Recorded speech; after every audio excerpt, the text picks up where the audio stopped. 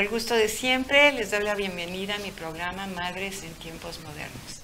Hoy tenemos una, una eh, invitada especial que se llama Saraí Gallegos. Gracias por estar con nosotros. Gracias. Y con quien vamos a platicar increíblemente de toda su aventura de vida en estos cortos años que tiene.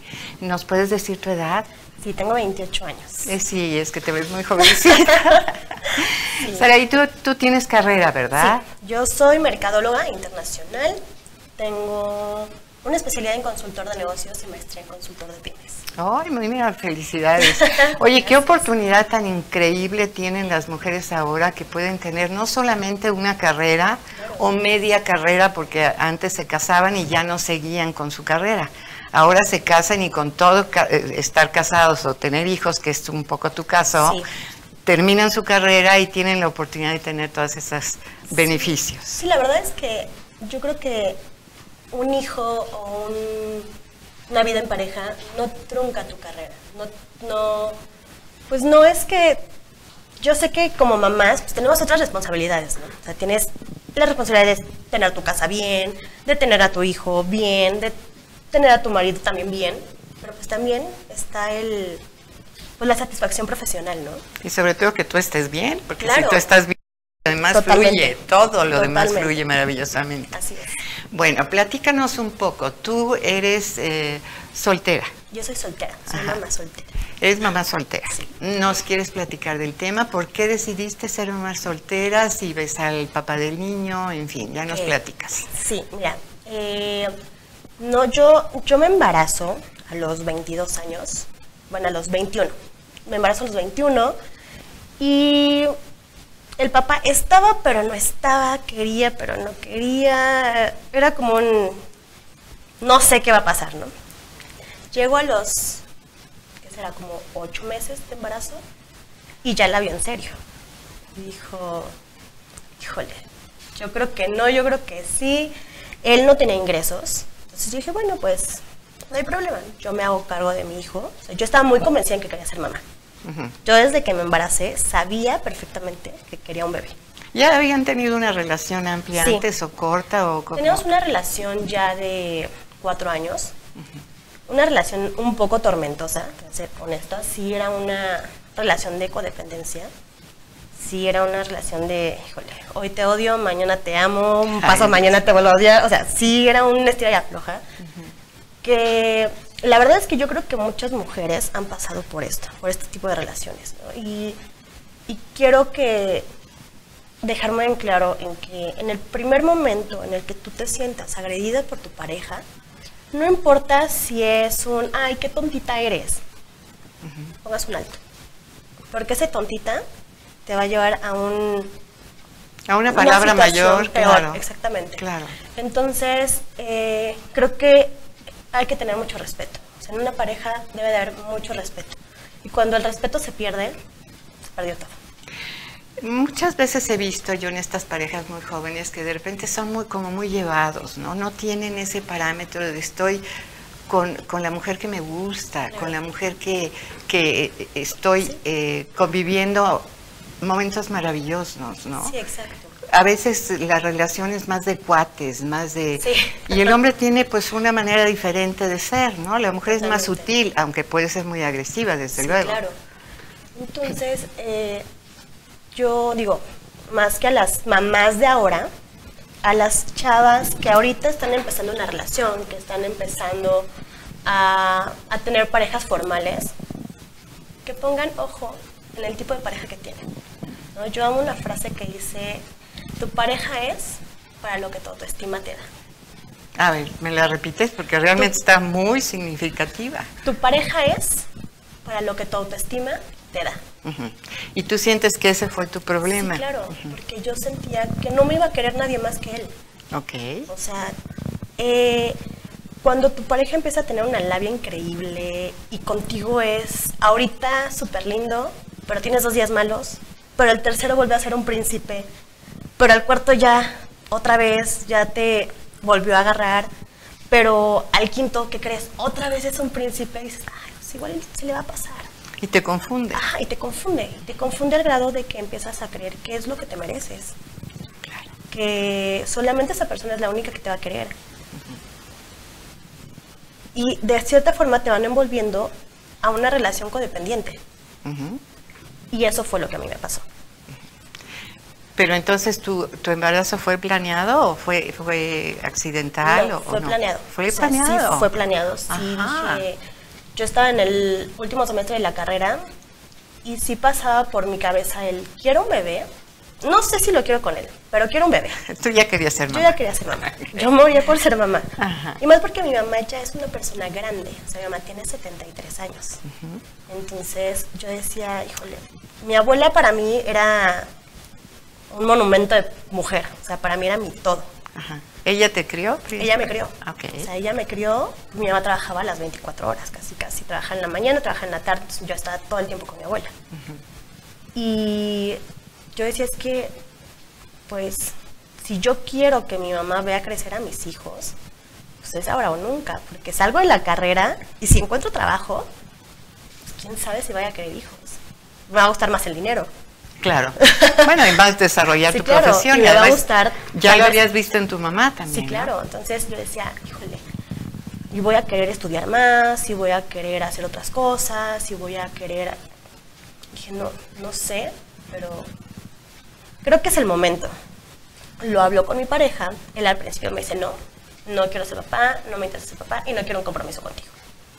Oh, Y yo wow. dije, ok, no te preocupes, yo no te voy a pedir absolutamente nada. Ah, tú ya estabas Sí, yo definida dije, a tener yo a tu no te hijo voy a pedir sola. nada. O sea, que un bebé y pues, cada quien su, su rollo. Yo no me di muchas consecuencias. O sea, No, en, en ese entonces, para mí era muy fácil, ¿no? Pues tengo un hijo y ya, y Dios proveerá. y cuando tengo a mi hijo, él ya no estaba conmigo. Él se había ido a Playa del Carmen, se me desapareció. Regresa y me dice, ¿sabes qué? Siempre sí quiero hacer una familia contigo, pero ¿qué crees? No tengo dinero.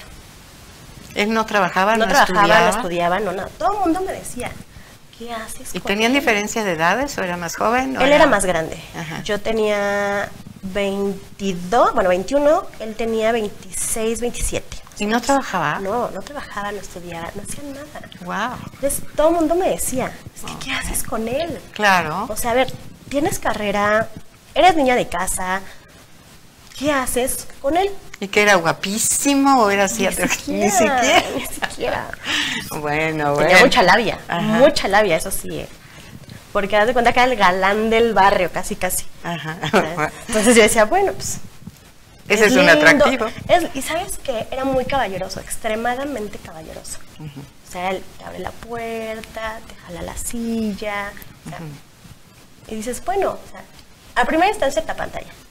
Y en su momento cuando yo lo conocí, él yo tenía 17 años. Entonces, una persona mayor, caballeroso, me llevaba flores, yo decía, pues, increíble. O sea, me agarró muy pollita. sí, definitivamente.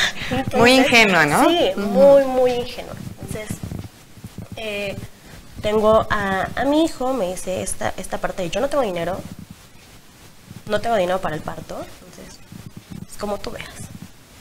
Entonces, en esos momentos yo dije, híjole, Perdón, pero tú trabajabas yo entonces. en ese entonces no, estaba estudiando. Ah, habías estado, Había- claro, estabas por terminar. por terminar la carrera. Ah, sí.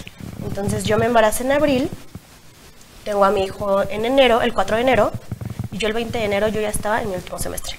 Como si nada, ya nada de que cuarentena ni que ocho cuartos, no, yo ya estaba, eh, con 20 días después, yo ya estaba en la escuela clases. maravilloso para poder Sí, terminar. claro, correcto. para poder terminar.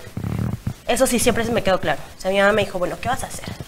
¿Vas a acabar? ¿No vas a acabar? ¿Vas a trabajar? ¿Qué quieres hacer? Por lo menos tuviste su apoyo Sí, incondicional. claro. La verdad es que entre el choque de, híjole, porque mi mamá se enteró que estaba embarazada a los, cuando yo tenía cinco o seis meses de embarazo. Ajá. ¿Y eso por qué? ¿Por temor a hablarlo? Sí, porque decía, es que, ¿Cómo le que- ¿cómo le digo? ¿Cómo le digo que estoy embarazada? Ay, o sea, criatura. sí, sí, o sea, sí, estoy, por mi mente jamás pasó el voy a abortar. Jamás. Yo decía, bueno, ¿y ahora? O sea, ya está. ¿Y ahora? ¿Cómo le digo a mi mamá que estoy embarazada? Claro, pero tampoco te fue sugerido. No, No. No, no, no. Entonces yo decía, ¿qué hago? ¿Qué hago? ¿Qué hago? Hasta que un día me acuerdo perfecto que mi mamá entró a mi recámara, se me queda viendo No sé qué pasó, que me dice, tú estás embarazada. Wow. Y me suelto a llorar. Y ya sabes, el- Ay, el- la verdad de no, es que sí, pero es que no. Pero... Mi mamá, bueno, ¿qué vas a hacer? Claro. Y el papá, y no sé qué. Y yo, no sé. ¿Qué voy a hacer? No lo sé. No lo sé, pero estoy, o sea, pues ya tengo seis meses, ya ni queriendo puedo abortar. Y sí quiero a mi hijo. Dice, bueno, ¿y la escuela? Yo no, pues mira, yo lo voy a tener en enero, yo regreso a clases, me gradúo y todo perfecto.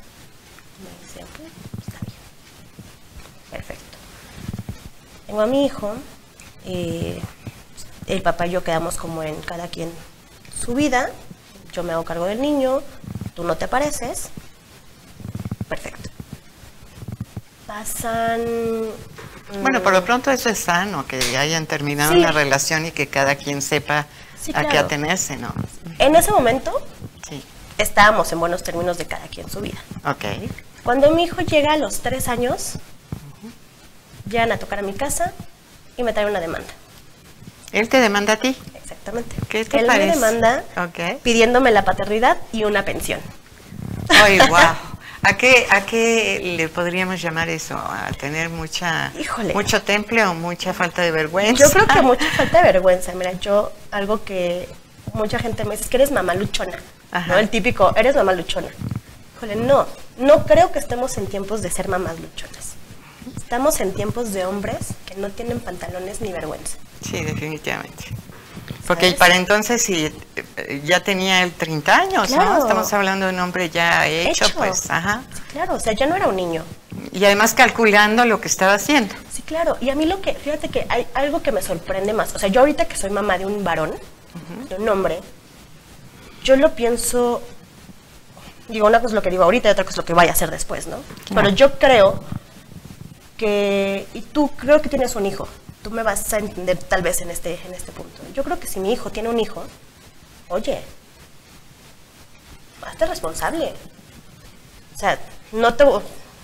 Tienes un hijo, no lo vas a dejar ahí varado. Desde O luego sea, es- como mamá, Claro. hazte responsable de tu hijo, Claro. ¿no? No, aquí no. Nada. O sea, la mamá, nada.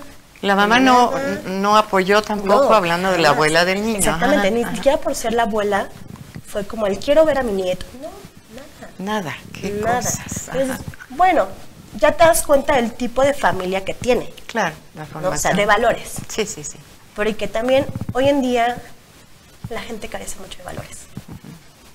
Y desgraciadamente lo veo con mi hijo, con mamás de la escuela de mi hijo, que el niño ya le está gritando a la mamá.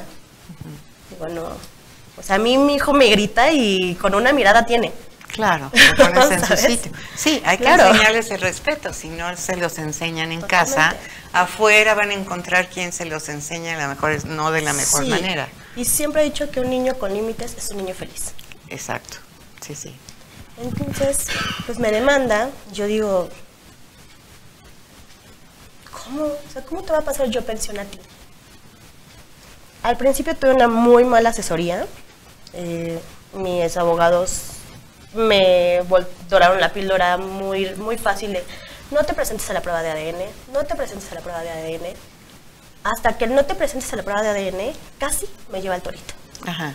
Esto es porque el juez ya había Ya me había dictado ajá, que se hiciera una prueba de ADN porque era la única forma de comprobar que le el la papá. paternidad. Claro. No había, no habían depósitos, no habían fotos, no había nada.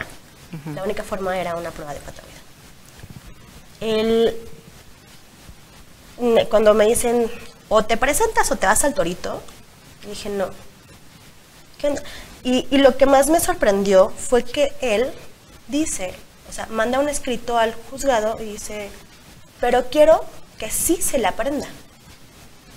Ah, Sab- además. sí, Ah, sabiendo que el aprenderme a mí era el dejar al niño sin su mamá, porque yo tenía que contestar con quién se iba a quedar el niño en lo que yo estaba arrestada, y si no, el niño se iba a ir al DIF hasta que se resolviera todo. No es posible. Esto O ya sea, suena. entonces- Dios mío. Yo dije, ¿en qué cabeza puedes arriesgar la integridad de tu hijo y el bienestar de tu hijo? Sí, pero él no estaba pensando No, en el no bienestar del pensando niño. en el niño, Por jamás. supuesto. O sea, para nada. Entonces dije, bueno. En mi desesperación le hablo a un amigo, que es abogado, Y me dice, a ver, tranquila, vamos a platicarlo y vemos cómo lo resolvemos. Movieron mar, cielo, tierra, todo. Meten un escrito, me quitan la presión y me dicen, pero te tienes que presentar la prueba de ADN.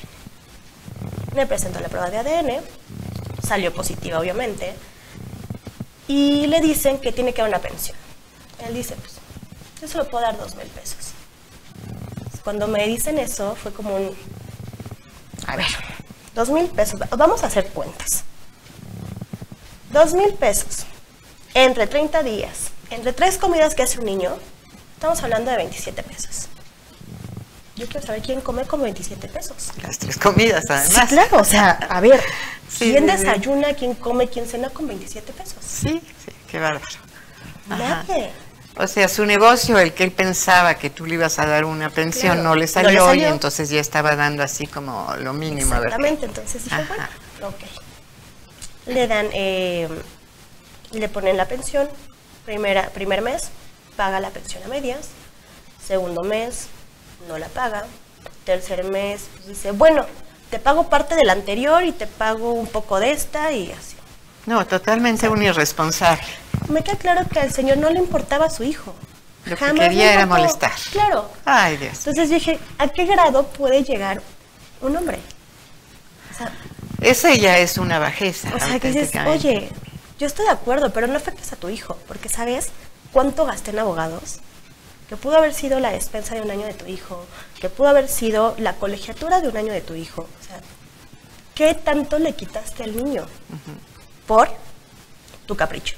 Bueno, ese fue un capricho, pero ¿qué hay? ¿Tú, tú no lo registraste a su nombre? No, yo lo registré con mis apellidos. Ok. o sea, como mamá natural. Y a la hora que el, el juez decide algo sobre el nombre del niño. Sí, hacen, eh, le gira una orden al registro civil para que se haga el cambio.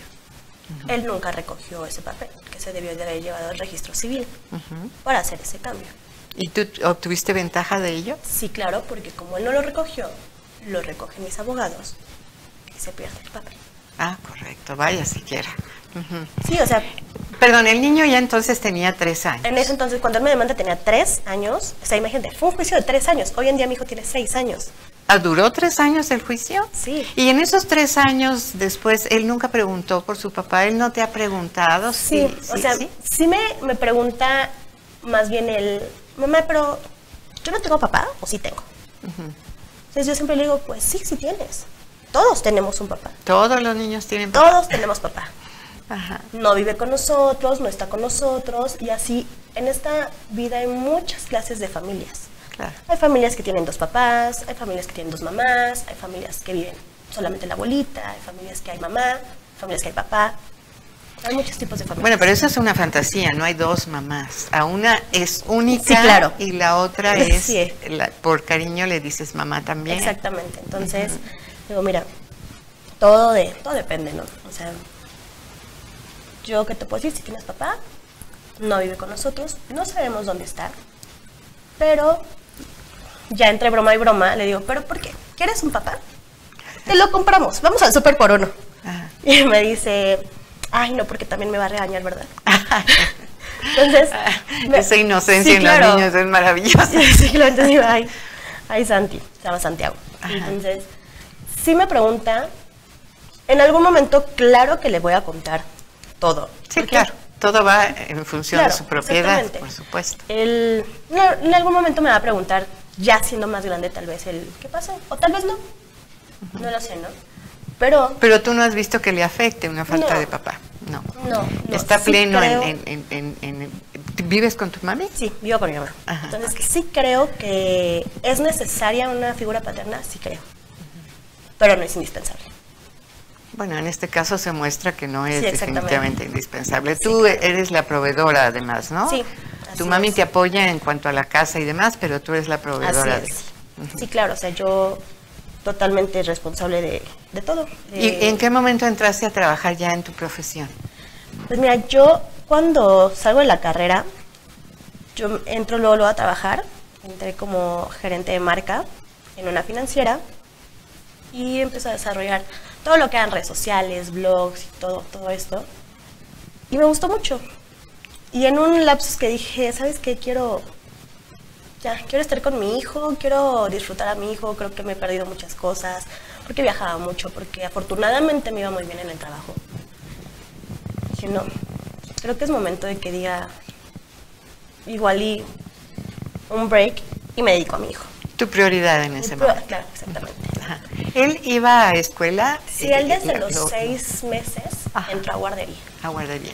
Cosa que también mucha gente me dice, es que a los seis meses, ¿cómo crees? Y es la realidad de muchas mujeres.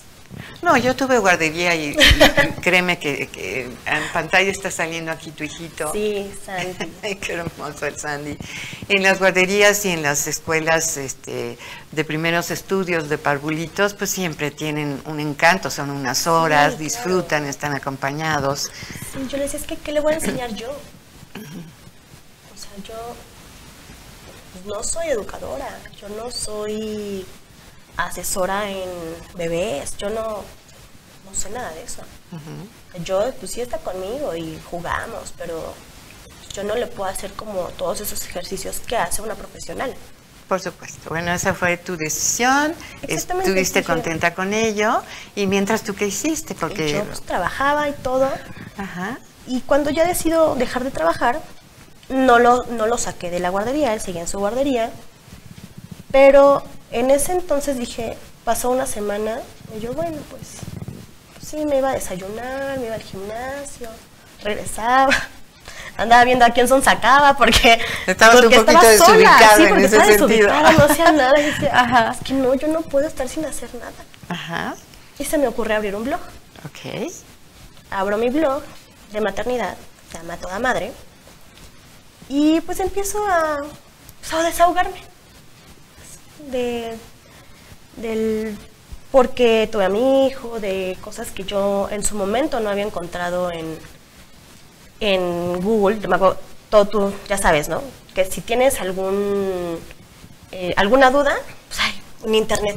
Todo lo soluciona el internet. Yo soy mamá de tutoriales, soy mamá de internet. O sea, todo, todo me lo da internet. Eso es un tiempo maravilloso, ¿eh? Porque Sí. cualquier cosa que necesites y yo veo que el- Sí, claro, a ver, ¿dónde? luego, luego, ajá, claro, entonces- ah, obtener respuesta y apoyo. Ahora las mujeres están apoyando mucho en esas redes. Claro, entonces yo decía, pues, no creo, no soy la única que es mamá soltera, no soy la única que ha pasado por eso.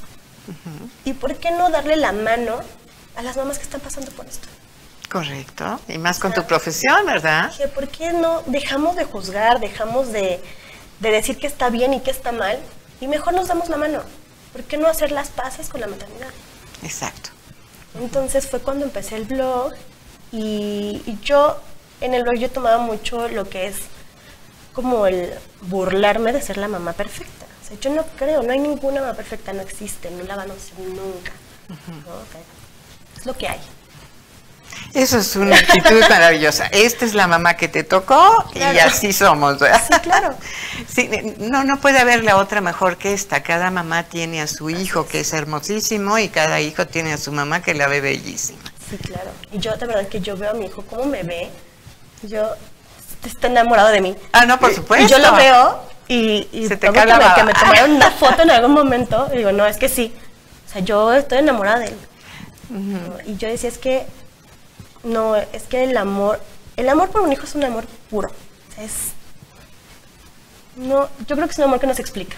Un, un amor que cada quien lo constata a su manera y en cada hijo, ¿no? Ya lo Sí, claro. experimentarás cuando tengas otro hijo.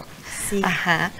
Y pues decido hacer el blog, cosa que a mí eh, me ha llenado de satisfacciones enormes.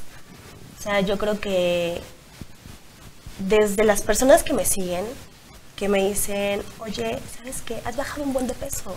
Oye, ¿sabes qué? Eh, que cambiaras tu cabello está increíble, te quedó increíble. Ay, Y, te dan apapachos y Claro, todo. entonces es como que nos apapachamos mutuamente. Claro, Y ajá. el, oye, pero ¿sabes qué? ¿Cómo le hiciste con esto? O tú le diste lactancia mixta o lactancia. Entonces, pues intercambias ideas, ¿no? O sea, Claro. no nos cerramos al, se hace esto porque así es. No, es, puedes hacer esto y tiene estas ventajas, o puedes hacer esto y tiene estas ventajas. Y algo que más me llena de satisfacción es que comparto mi profesión con mi hijo. Que si llegamos a tener algún evento con alguna marca, él está incluido. Entonces son nuestros momentos de mamá e hijo, ¿sabes? Y además se acompañan en, en, En mi trabajo, En tu trabajo, hago, claro. Y lo gusta. enseñas a trabajar Sí, porque claro. a, a juzgar o a lo que has dicho del papá, Sí. pues no podemos tener un papá que le dé un ejemplo de no trabajas y, No. y vives o e intentas vivir de lo que gane la mamá. No, o sea, no, no se puede. Entonces yo, yo, pues es una satisfacción muy grande lo que me ha dado el blog. Y eso me llevó a meterme al stand-up. Ah, sí, es cierto. Tú eres estandopera, ¿verdad? Me dicen que no hay un término en español No, no para ello. Stand-up. Ahora, explica un poquito qué es stand-up porque hay algunos que no, no están familiarizados ni con ello, ¿no? El stand-up es un tipo de comedia en donde te presentas en un escenario y conforme a tu experiencia vas contando pues, tu verdad de una forma igual y sarcástica, satírica, ¿sabes? Entonces, Pero finalmente la gente lo disfruta y se ríe Claro. mucho en la forma que sí, cada porque, quien lo ¿sabes dice. qué? Porque se identifican. Ah, claro. Porque lo Sí. padre del stand-up es que te identificas. Sí. Y sabes que es ese tipo de persona del que se están burlando. Entonces, y si no eres tú, es el y de si no es tu mamá o tu prima o Alguien. alguien. de tu familia encaja en el perfil de la persona que estás viendo. Entonces, yo decido hacer, me- me- una amiga me dice, oye, pues, ¿sabes qué? Inscríbete a hacer el taller de stand-up. Pues, bueno, pues, a ver qué pasa. Cosa que me ayudó mucho más en mi blog, porque yo en mi blog era muy cerrada. Sí mostraba mi vida, pero por encimita. O sea, era el... No, no se metan a lo que soy yo realmente. ¿no? Bueno, pero además ahí hay una barrera porque tú estás hablando a través de, Sí. ¿no? Y en el stand-up tú Es tienes a las personas Sí, claro. enfrente. Así es. Y estás percibiendo lo que ellos al oír lo que dices, eh, es más, hasta yo creo que te aceleran, ¿no? Sí. Así como para el- aquel que baila y le aplauden, pues baila Sí, mejor. claro, totalmente. Ajá. A ver, Entonces- entonces, Eh, empiezo a hacer mi, mi rutina de stand-up con mi vida, ¿no? con lo que realmente viví, con el, pues ok, ya no tengo citas, porque pues no salgo, pero tengo Tinder, ¿sabes?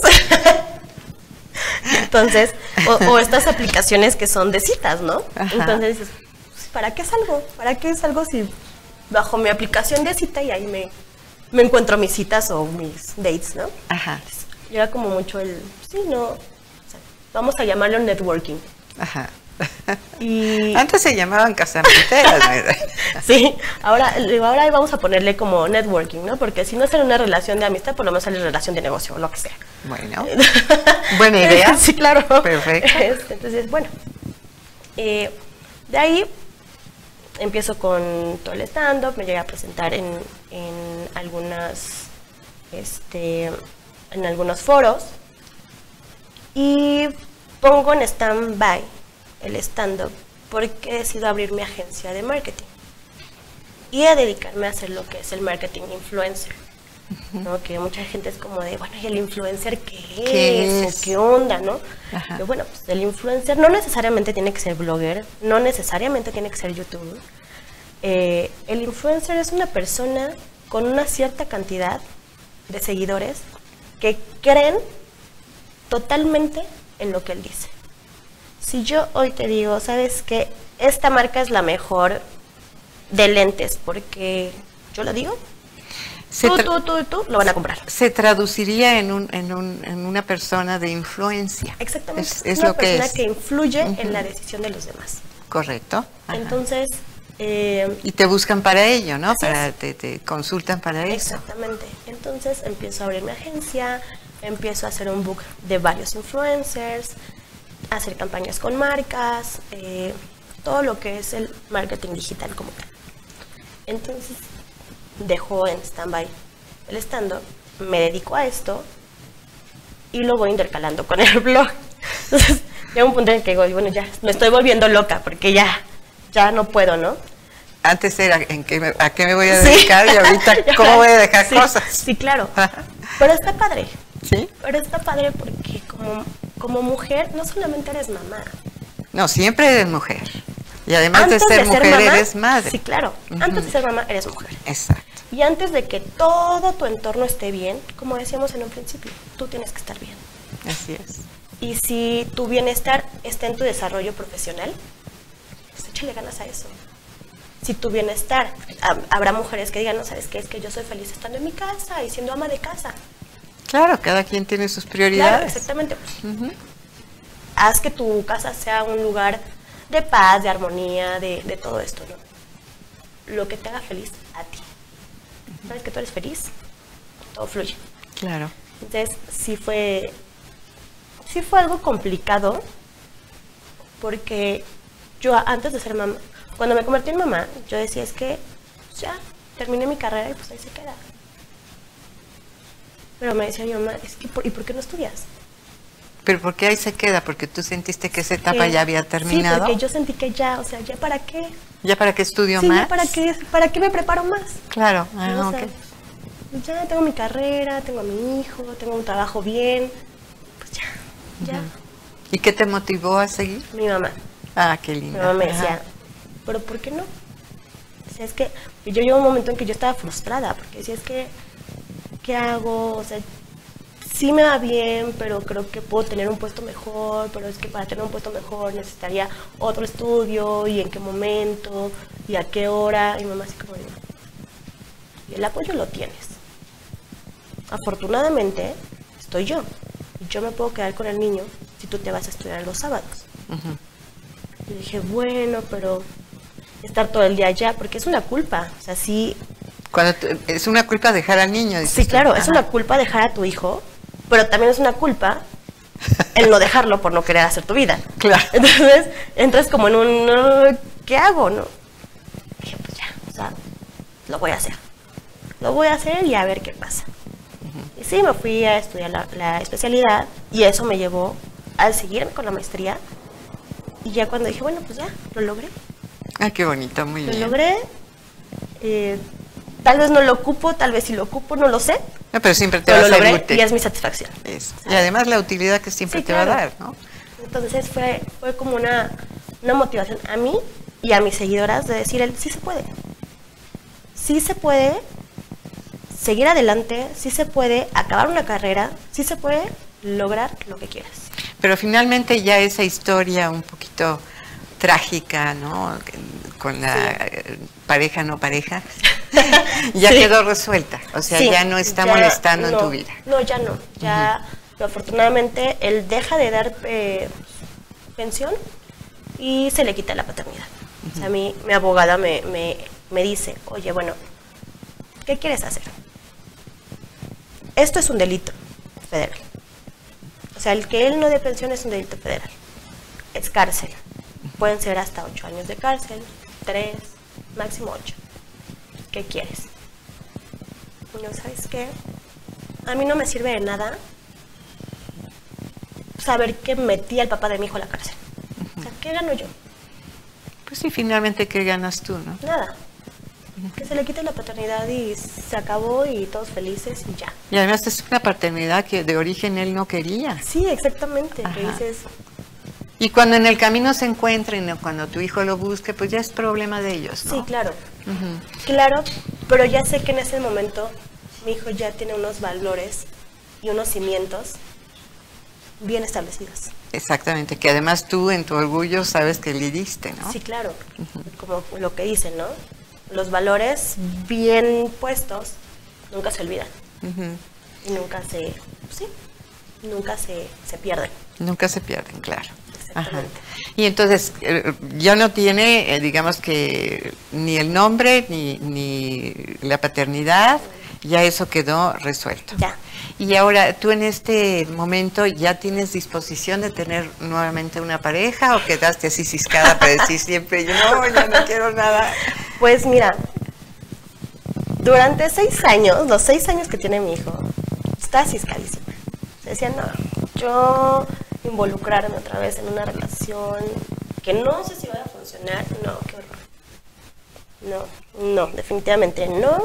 Eh, sí salía con amigos, que sí, que sí el cafecito, que sí la copita, que sí, hasta ahí. ¿no? Yo sabía que mis responsabilidades eran mi trabajo y mi hijo. Hoy, ¿qué te puedo decir? Hoy sí estoy abierta a una relación, sí, sí lo estoy. ¿A ti te gustaría casarte? Sí, no sé si casarme, o sea, no es como el, mi sueño dorado casarme, pero sí hacer una familia.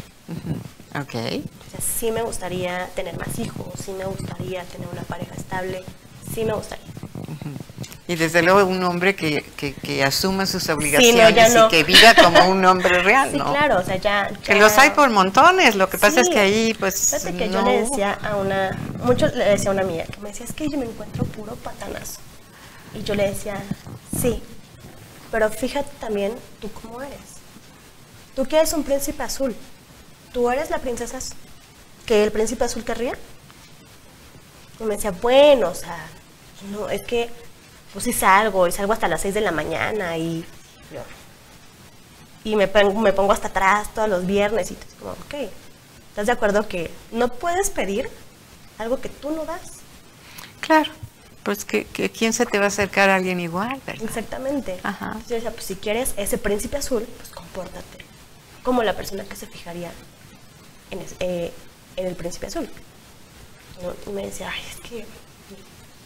¿no? Entonces yo ahorita sí, yo ya no busco el, el saber qué pasa, ¿no? no. O sea, es sí... Ya tienes un perfil Sí tengo un perfil muy determinado del tipo de persona que me gustaría tener en mi vida. Y además una madurez en lo que has Claro. estado hablando, de lo que tú puedes aportar para que esa pareja y tú puedan tener una vida larga, ¿no? Sí, totalmente. Mira, yo creo que una pareja es un equipo. Es una sociedad. Cada quien en su papel y sin ser mm, necesariamente Sí. iguales. No, no necesariamente. Con sus grandes y, y Y bonitas poniendo siempre las cosas sobre la mesa, ¿no? El, estoy dispuesto a esto y no estoy dispuesto a esto.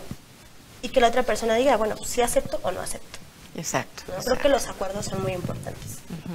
Es- sí, sí creo que sí está abierta, pero con mis reservas de, de si llega la persona adecuada. No, bueno, eso se entiende, porque además eh, no, puedes aceptar a aquel que ni siquiera es- conoces o que ni Sí. siquiera amas, ¿no? Pues No, claro. esto se Y va a ir sobre dando. todo cuando eres mamá, que tenga una buena relación con tu hijo. Es muy importante. O sea, que sí esté dispuesto, porque no es que sea una carga, porque al final de cuentas nunca va a ser el papá de tu hijo, pero sí que se puedan llevar bien. Y que tal vez tu hijo le pueda tener la confianza de pedir un consejo. O que sepas y que lo puedas, que se puedan quedar solos unos segundos y todo esté bien, todo fluya bien, ¿sabes? Si no, pues, o sea, sí te querrá mucho la persona, pero si con tu hijo no fluye la, el- Tú no lo vas a querer No, para nada. No, claro. eso es un hecho. Sí, te- sí te- porque además ustedes son paquete. Sí, ¿No? Si te Sí. quiere a ti, te tendrá que aceptar con tu hijo, por supuesto, y desde luego de ahí seguir y partir. También eh, cabe la posibilidad, evidentemente, entre más grande sea uno, de que ellos también tengan Sí, hijos claro. y que de alguna manera tú estés dispuesta también a hacer un buen Sí, papel claro. con los hijos del otro. Sí, totalmente. y, y, digo, me ha pasado que he salido con, con personas y me dicen, bueno, pero ¿a ti te gustaría tener más hijos? Y yo, hoy, no sé. O sea, hoy no lo sé, porque porque mi hijo ya está grande. O sea, la diferencia es, es demasiada. Yo no sé si quiero volver a empezar a pañales, a otra vez que la leche, que la lactancia, que el, o sea, no sé. Yo hasta me, me, me- me- me siento así como si te digo un poquito, fíjate, mi, mi primer hijo y, y mi última hija se llevan 10 años y del primero al segundo se llevan 4 con uno y 6 con la otra. ¿Por qué? Porque así se me dio. Claro. Yo ahí sí no tuve opción de decir, oye, pero tengo prisa y al ratito. A, mí se me concedieron de esa manera y entonces yo digo que no es tanto. Yo puedo entender que en este teléfono tú planees y hagas, Sí, claro. pero cuando vas a ser madre eh, son cosas distintas. Ahí hay esa cosa sutil de que sí te toca y no te Sí, toca. claro. Entonces, si tú quieres más hijos, ábrete a esa posibilidad, Sí. nena, porque pues no sabemos. Sí, totalmente. Que también depende mucho del hombre. O sea, si sabes que es un- una buena pareja, pues yo creo que lo platicas y dices, bueno, ok. Se a abre ver. la posibilidad, Se abre la claro. posibilidad. Si ves que ah, las dudas y así es como un, Mejor no. Mejor no. Claro, claro. Yo ya, te- yo ya tengo a mi hijo y estoy muy bien con él. Claro, claro. Sí, sí, sí. ¿no? Pero sí. Pero esto es lo menciono porque a diferencia de edades, por lo que tú mencionaste, ¿no? Ya Sí, son claro. muchos años. Cuando lo he visto en mis hijos, pues cuando un hermano es un hermano, pues la diferencia de edades está y prevalecerá, pero claro. son hermanos, ¿no? Totalmente. Fíjate que muchas amigas sí me han dicho eso de él. Yo le llevo 12 años a mi hermana y es mi adoración. Yo no, pues. Y, y- y me hacen pensarlo más y más digo, ay, pues igual y Te sí. están entusiasmando. Pues igual y sí. Puede ser. Pues bueno, eh, estas son circunstancias de vida y primero pues tenemos que encontrar o dar la posibilidad de que llegue ese galán que se merece. Sí, en este caso, pues tú que eres bloguera, pues también hay que escribir esa carta, esas energías sutiles para que llegue aquel compañero que realmente conviene en la vida de uno, ¿no? Sí, claro, totalmente. Y, y ¿cómo dices, no? O sea, si tú más dices, no, es que no, y te cierras, y te cierras, y te cierras, nunca va a llegar. Hoy creo que sí me siento ya, o sea, como que ya superé, ya, cuando dije, bueno, ya acabó el ju- juicio, ya, ya, ya. Ya, esa paz Fue ya como un, llegó. ah, claro, fue oye, como, qué bueno, cosa. ya estoy bien, ya me siento bien, ya no le debo nada a nadie, ya nadie me debe nada, ya, ya estoy tranquila. Y además es una postura muy valiente, no tener miedo de que tú puedes mantener a tu hijo y darle todo lo que requiere y Sí, necesita. claro. Y, y dejar que el otro siga su vida en paz y que por lo pronto, si no ayuda, que no estorbe. Exacto. Y mira, yo le, le decía a mí, porque me decía una amiga, ¿no lo odias? O sea, en verdad, ¿no lo odias? Y yo así, pues, no lo odio, pero pues, le deseo lo mejor. O sea, todos dicen que tú eres lo que das. Yo le deseo lo mejor. Le deseo lo mejor, que le vaya bien, que por lo menos a nosotros nos deje pues en paz, nos deje vivir tranquilamente. Pero además tu forma de platicarlo lo, lo expresa bien, ¿no? Expresa exactamente lo que estás sintiendo. Y te felicito mucho por ello, gracias. sinceramente.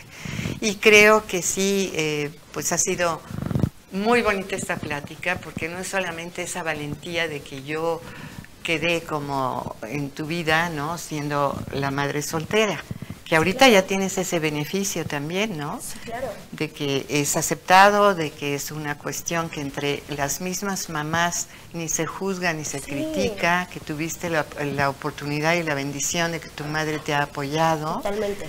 Y que además de todo, bueno, pues la vida sigue, es maravillosa y si hay algo en lo que no se debe de meter nadie es en la sexualidad de la persona, en la moralidad de la persona y en la religión de cada quien. Totalmente. ¿no? Y eh, con ese respeto natural, pues es evidente que tú vas a tener mucho éxito en tu vida, vas a encontrar esa pareja que no ha llegado, pero que seguramente está buscando a alguien como tú también. Y que van a poder tener una vida larga juntos, ¿no? Porque sí vale la pena, cuando uno ve a una muchachita tan linda y tan joven, pues evidentemente que lo que más quiere uno es que, que tengan esa vida en pareja que tanto quieren tener, ¿no? O que les conviene tener por ciertas cosas. ¿no? Eh, estás en, en la flor de tu vida y tienes que cuidar esa integridad, sobre todo para ti como Sí, mujer. Y seguir como mujer, porque tu hijo te va a seguir en ese vaivén que tú le des y en algún momento efectivamente los hijos se van. Pero después regresan, o sea, siempre están. Lo que te quiero decir es que siempre están. totalmente. Pero de otra manera, tú, aunque ellos se vayan, siempre estás con ellos, ¿no? Y deben de llevar cada quien su vida propia como adultos, porque pues evidentemente cuando ellos crecen van a querer su familia y cuando tú estés con la familia de ellos y te conviertas en abuela, es otra de las fases más maravillosas que tiene Sí, la vida. Es verdad. sí. Ver a un hijo con su hijo es una felicidad muy especial, muy, muy especial. Y entonces yo a ustedes también les doy muchísimas gracias por estar y acompañarnos con nosotros, a ti especialmente y a los que han permitido que se transmita este programa. Les dejo como siempre mis bendiciones y mi